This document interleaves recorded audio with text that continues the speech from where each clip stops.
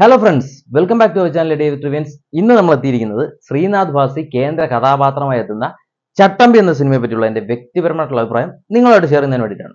അപ്പോൾ ശ്രീനാഥ് ഭാസിയെ സംബന്ധിച്ച് ഇപ്പം ഒരുപാട് ശ്രീനാഥ് ഭാസി ഒരുപാട് ചീത്ത വിളിക്കുകയും കാര്യങ്ങളൊക്കെ ചെയ്തു എന്ന് പറഞ്ഞ് ഒരുപാട് കാര്യങ്ങളൊക്കെ വരുന്നുണ്ട്. വീഡിയോസ് ഒക്കെ പുറത്തു വന്നു. അതുപോലെ ശ്രീനാഥ് ഭാസിയുടെ ഒപ്പീനിയനും എല്ലാം വന്നു.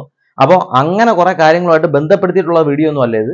ഇത് എന്റെ തികച്ചും നമ്മുടെ ചട്ടമ്പി സിനിമയെ പറ്റി മാത്രമുള്ള എന്റെ വ്യക്തിപരമായിട്ടുള്ള അഭിപ്രായമാണ് ഞാൻ പറയുന്നത്. അപ്പോൾ നമ്മുടെ ചാനൽ ആദ്യമായിട്ട് കാണുകയാണെന്നുണ്ടെങ്കിൽ നമ്മുടെ വീഡിയോസൊക്കെ കണ്ട് ഇഷ്ടപ്പെടുന്നു എന്നുണ്ടെങ്കിൽ നമ്മുടെ ചാനൽ ഒന്ന് സബ്സ്ക്രൈബ് ചെയ്യുക നമ്മളൊന്ന് സപ്പോർട്ട് ചെയ്യുക ഓക്കെ അപ്പോൾ നമുക്ക് നേരെ നമ്മുടെ റിവ്യൂലേക്ക് പോവാം.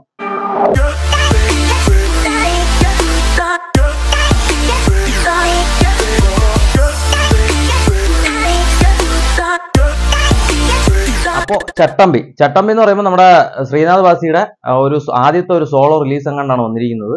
അപ്പോൾ പുള്ളിക്കാരൻ ഇത്രയും കട്ടയ്ക്കുള്ളൊരു ക്യാരക്ടർ കിട്ടിയിരിക്കുന്ന ഒരു ആദ്യ ചിത്രമാണ്. മുമ്പുള്ള ചിത്രങ്ങളിൽ ഒരുപാട് കോമഡിയും നമ്മളെ ഹോം ആണെന്ന് തോന്നുന്നു ലാസ്റ്റ് ഇറങ്ങിയ പടം എന്ന് തോന്നുന്നു എന്റെ വിശ്വാസം. അപ്പോൾ അതിലും ആ, ഒരു ടൈപ്പ് ക്യാരക്ടറാണ് പക്ഷേ ഇത് തികച്ചും വ്യത്യസ്തമാണ്. പേര് പോലെ തന്നെ ഒരു ചട്ടമ്പിയായിട്ട് തന്നെയാണ് വരുന്നത്. പല കാര്യങ്ങളിലും കയറി ചൊറിയുന്ന അല്ലെങ്കിൽ ചീത്ത വിളിക്കുന്ന പടത്തിൽ ഉടനീളം ഉണ്ട് കേട്ടോ ചീത്ത വിളി ആദ്യം തൊട്ട് അവസാനം വരെയും ചീത്തവിളിയാണ്. വിളിയാണ് നമ്മുടെ ചുരുളി മോഡൽ അങ്ങനത്തെ റേഞ്ച് ഒന്നുമല്ല. പക്ഷേ നമ്മൾ ആസ് യൂഷ്വലി നമ്മളെ യൂത്തിന്റെ ഇടകളിലൊക്കെ ഫേമസ് ആയിട്ടുള്ള കുറച്ച് കാര്യങ്ങളൊക്കെ തന്നെയാണ് അപ്പൊ ചീത്തകളൊക്കെ തന്നെയാണ് ഇതിനകത്ത് പറഞ്ഞു പോകുന്നത്. അപ്പോൾ അതൊക്കെ നോർമലി ഇപ്പം എന്നെ പോലുള്ള ഓഡിയൻസിനൊന്നും എനിക്കതൊരു വിഷയമായിട്ട് തോന്നുന്നില്ല. ഒത്തിരി ഓൾഡ് ജനറേഷൻ ആയിട്ടുള്ളവർക്ക് ചിലപ്പോൾ അത് അതൊരു കല്ലുകടിയായിട്ട് തോന്നിയിരിക്കാം. മാത്രമല്ല അത് പതിനെട്ട് പ്ലസ് എയ്റ്റീൻ പ്ലസ് ആണ് പടം. എ ആണ്. എ സർട്ടിഫിക്കറ്റ് കിട്ടിയ പടമാണ്. അപ്പൊ അത് ആദ്യമേ തന്നെ പടത്തിൽ പറയുന്നുണ്ട്. അല്ലെങ്കിൽ ആദ്യമേ തന്നെ നമ്മൾ ഇതിലൊക്കെ വരുന്നുണ്ട്. വന്നിട്ടുള്ളതാണ്. അപ്പൊ അത് വിട്ടുള്ള അങ്ങനെ ഒരു സംഭവമുണ്ട്. പിന്നെ തികച്ചും കഞ്ചാവിന്റെ ഉപയോഗം അതുപോലെ തന്നെ സിഗരറ്റ് വലി വെള്ളം മദ്യപാനം അങ്ങനെയുള്ള ഒരുപാട് കാര്യങ്ങൾ ആദ്യം തൊട്ട് അവസാനം വരെ ഈ സിനിമയിൽ മുഴച്ചു നിൽക്കുന്നുണ്ട്. അത് എത്രത്തോളം ആളുകൾക്ക് ഇഷ്ടപ്പെടും എന്നുള്ള കാര്യവും അറിയില്ല. ഓക്കെ. അപ്പോൾ നമുക്ക് ഇതിന്റെ പോസിറ്റീവ് വശങ്ങളിലേക്ക് ആദ്യത്തെ കടക്കാം. പോസിറ്റീവ് വശങ്ങൾ എന്ന് പറയുന്നത് എനിക്ക് ഇഷ്ടപ്പെട്ട ശ്രീനാഥ് ബാസിയുടെ പെർഫോമൻസ് ആണ്. വളരെ നന്നായിട്ട് തന്നെ പെർഫോമൻസ് ചെയ്തിട്ടുണ്ട്. കാരണം പുള്ളിക്കാരന്റെ ഇതുവരെയുള്ള ഒരു ക്യാരക്ടറിൽ ഏറ്റവും വെയിറ്റ് കൂടിയ ഒരു ക്യാരക്ടറാണ് അല്ലെങ്കിൽ ഏറ്റവും ഡെപ്ത് അഭിനയിക്കാൻ പ്രാധാന്യമുള്ള ഒരു ക്യാരക്ടറാണ് പുള്ളിക്കാരൻ ഒരു ലോക്കലി ആയിട്ടുള്ള ഒരു ആളായിട്ടാണ് വരുന്നത്. ഒരു നാട്ടിൻപുറത്തുകാരൻ. ആവശ്യമില്ലാത്ത കാര്യങ്ങൾ ഇരുപത്തിനാല് മണിക്കൂറും വെള്ളമടിക്കുക കഞ്ചാവ് വലിക്കുക അങ്ങനെയുള്ള ഇതിൽ കിറിങ്ങി സൈക്കോ മോഡലിൽ നടക്കുന്ന ഒരു ക്യാരക്ടറാണ് എല്ലാ കാര്യത്തിനും വിഷയം ഉണ്ടാക്കുക അടി ഉണ്ടാക്കുക അങ്ങനെയുള്ള ഒരു ക്യാരക്ടറാണ് അത് വളരെ നന്നായിട്ട് തന്നെ ചെയ്തിട്ടുണ്ട്. എടുത്തു പറയേണ്ട കാര്യമാണ് പുള്ളിക്കാരന്റെ ഇതുവരെയുള്ള കരിയർ ബെസ്റ്റ് പെർഫോമൻസ് എന്ന് വേണമെങ്കിൽ പറയാനായിട്ട് കൂടാതെ ഇതിൽ അഭിനയിച്ചിരിക്കുന്ന മൈഥിലി ഉണ്ട് മൈഥിലിയുടെ പെർഫോമൻസ് പറയണം കേട്ടോ. മൈഥിലി ഒരു ഇതുവരെ കണ്ട സിനിമകളിൽ കണ്ട പോലെ അല്ല ഒരു വ്യത്യസ്തമായിട്ടുള്ള ഒരു പെർഫോമൻസ് ആണ്. ഒരു ക്യാരക്ടറാണ് കിട്ടിയിരിക്കുന്നത്. അത് വളരെ നന്നായിട്ട് എന്ന് പറഞ്ഞാൽ ഞാൻ പുള്ളിക്കാരുടെ ഇങ്ങനത്തെ ഒരു പെർഫോമൻസ് ഉള്ള സിനിമ ഞാൻ മുമ്പ് കണ്ടിട്ടില്ല. ഇതിൽ നന്നായിട്ട് തന്നെ അഭിനയിച്ചിട്ടുണ്ട്. മികച്ചതായിരുന്നു.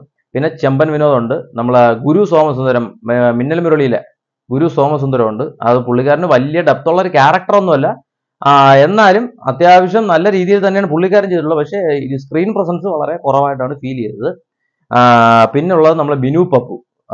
അതും വളരെ നന്നായിട്ട് തന്നെ ചെയ്തിട്ടുണ്ട്. കൊള്ളാം. അപ്പോൾ ഈ കഥ പറയുന്ന രീതിയും എനിക്ക് വളരെ നല്ല രീതിയിൽ ഇഷ്ടപ്പെട്ടു. കാരണം ആദ്യം ഒരു മരണം നടക്കുകയും അത് ആ മരണം എങ്ങനെ നടന്നു എന്നുള്ളത് മുമ്പ് കുറേ കാര്യങ്ങൾ അല്ലെങ്കിൽ മുമ്പത്തെ പല സാഹചര്യങ്ങളും കൊണ്ടാണ് ഈ മരണം നടക്കുന്നത്. അല്ലെങ്കിൽ കൊലപാതകം നടക്കുന്നത്. അപ്പൊ ആ സാഹചര്യങ്ങൾ പറഞ്ഞു പറഞ്ഞു പോകുന്നു. കൊലപാതകത്തിന്റെ ആറ് മാസം മുമ്പ്. അത് കഴിഞ്ഞ് മൂന്ന് മാസം മുമ്പ് രണ്ട് മാസം മുമ്പ് ആറ് ദിവസം മുമ്പ് അങ്ങനെ ഒരു പാറ്റേണിലാണ് കഥ പറഞ്ഞ് വീണ്ടും പ്രസന്റ് സിറ്റുവേഷനിലേക്ക് വരുന്നത്. അത് എനിക്ക് വളരെ നല്ല രീതിയിൽ തന്നെ ഇഷ്ടപ്പെട്ടു കൊള്ളായിരുന്നു. പിന്നെ എടുത്ത് പറയേണ്ടത് B G M B G എമ്മും അത്യാവശ്യം വളരെ നന്നായിട്ട് തന്നെ ഉണ്ടായിരുന്നു. നമ്മളെ ഡാത്തടിയിലെ മറ്റേ ശേഖർ എന്നോ അങ്ങനെ ഉണ്ടാകുന്ന പേര്. അപ്പൊ ആ പുള്ളിക്കാരന്റെതാണ് മ്യൂസിക് എന്ന് കേട്ടു. അറിയില്ല ഉള്ളതാണോന്ന് അറിയില്ല എന്നാണ് കേട്ടത്. അപ്പൊ ആ ഒരു ബാക്ക്ഗ്രൗണ്ട് സ്കോറും ഒക്കെ അത്യാവശ്യം നന്നായിട്ട് തന്നെയാണ് എനിക്ക് ഫീൽ ചെയ്തത്. പിന്നെ വേറൊന്നും എനിക്ക് പ്രത്യേകിച്ച് എടുത്ത് പറയത്തക്ക ലെവലിലായിട്ടൊന്നും തോന്നിയില്ല. ഇത്രയൊക്കെ തന്നെയാണ് എനിക്ക് അതിൽ പോസിറ്റീവ് ഫീൽ തന്ന ഘടകങ്ങൾ അപ്പൊ നമുക്ക് ഇതിന്റെ നെഗറ്റീവ് വശങ്ങളിലേക്ക് നെഗറ്റീവ് വശങ്ങളിൽ ആദ്യം തന്നെ എടുത്ത് പറയേണ്ടത് ലാഗാണ് ഒരു രക്ഷയില്ലാത്ത ലാഗാണ് പടം ആദ്യം തൊട്ട് അവസാനം വരെയും ലാഗ് അടിപ്പിച്ച് കൊല്ലും. ഇവിടെ നിന്ന് നമ്മളിപ്പോ ഈ ഞാൻ ഇപ്പൊ കറണ്ട് സിറ്റുവേഷനിൽ നിൽക്കുന്ന സ്ഥലത്ത് നിന്ന് ഒരു അര കിലോമീറ്റർ മാറി ഒരിടത്തോട്ട് എനിക്ക് പോകണമെന്നുണ്ടെങ്കിൽ ഇവിടെ നിന്ന് ഞാൻ അര കിലോമീറ്റർ പോകുന്ന ആ ഡ്യൂറേഷൻ കംപ്ലീറ്റ് കാണിക്കും. ഒരു എന്താ പറയണ്ട പഴയ അവാർഡ് പടങ്ങളില്ലേ? ആ അവാർഡ് പടങ്ങളുടെ ആ ഒരു ടൈപ്പിലാണ് ഇത് എടുത്തിരിക്കുന്നത്. പറഞ്ഞാൽ അത്രയും ലാഗാണ് ഇവിടെ നടന്ന ദൂരെ പോകുന്നു. അല്ലെങ്കിൽ ഇപ്പോ ഫുഡടി ഈ സിനിമയിൽ ആദ്യം തൊട്ട് അവസാനം വരെ കുറേ നേരം ആഹാരം കഴിക്കുന്നത് വെള്ളമടിക്കുന്ന സീനും ഒക്കെ ഉണ്ട്.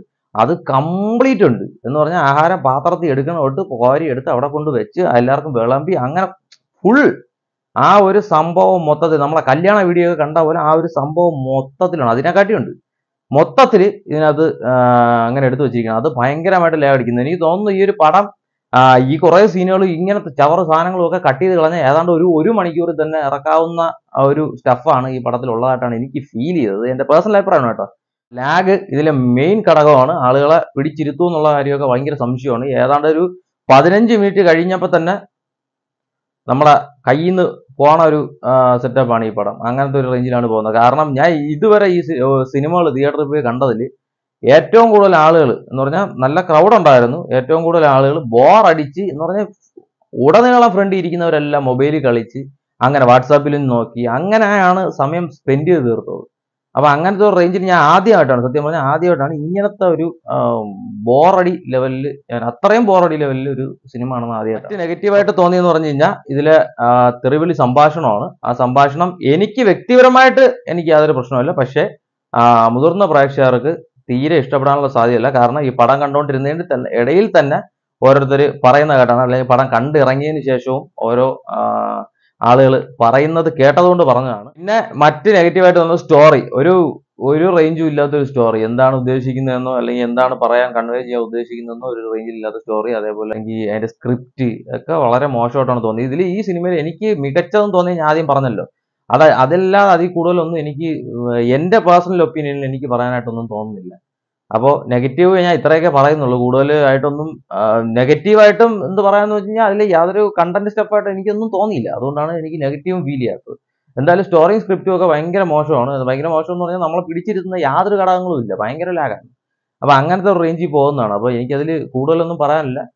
പടം കണ്ടവരുണ്ടെങ്കിൽ ഈ താഴെ കമന്റ് ബോക്സിലായിട്ട് നിങ്ങളുടെ ഒപ്പീനിയൻ നിങ്ങൾ താഴെ കമന്റ് ബോക്സിലായിട്ട് പറയുക. അതുപോലെ തന്നെ നമ്മുടെ ചാനൽ കണ്ട് ഇഷ്ടപ്പെടുന്നുണ്ടെങ്കിൽ നമ്മുടെ ചാനൽ സബ്സ്ക്രൈബ് ചെയ്യുക. അതുപോലെ നമ്മുടെ ഈ സിനിമയുടെ പബ്ലിക് ഒപ്പീനിയൻ എടുത്ത വീഡിയോയും നമ്മുടെ ചാനലിലുണ്ട് അപ്പോൾ അതും ഒന്ന് കണ്ടു നോക്കുക. താല്പര്യമുള്ളവരൊന്ന് കണ്ടു നോക്കുക. ഓക്കെ അപ്പോൾ അടുത്തൊരു വീഡിയോ വരുന്നവരെ എല്ലാവർക്കും ബൈ അപ്പോൾ